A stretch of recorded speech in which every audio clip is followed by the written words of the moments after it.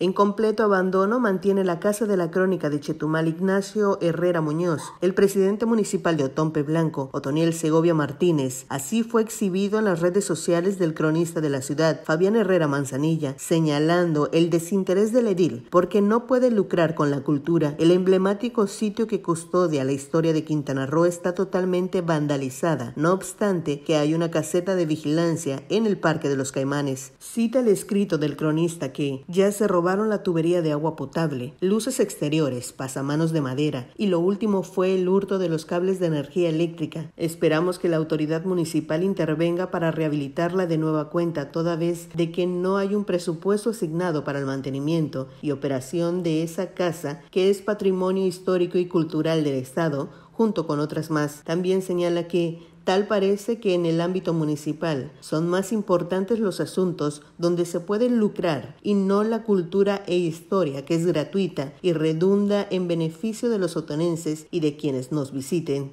Para Notivisión, Rosy Dorado.